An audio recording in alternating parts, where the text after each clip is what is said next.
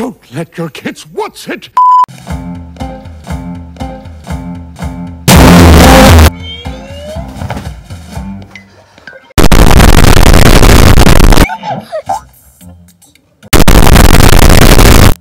What's 9 plus 10? 21. You stupid.